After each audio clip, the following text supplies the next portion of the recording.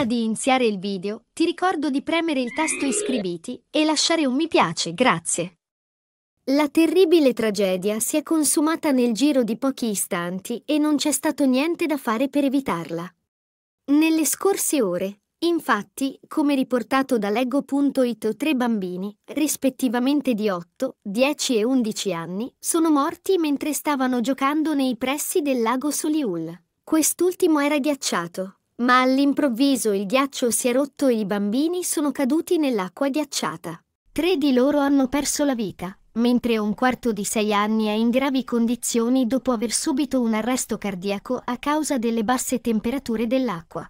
I fatti si sono verificati nell'Inghilterra centrale, con la polizia che sta continuando ad indagare nel tentativo di fare chiarezza su quanto è successo, assicurandosi che nessun altro sia caduto in acqua.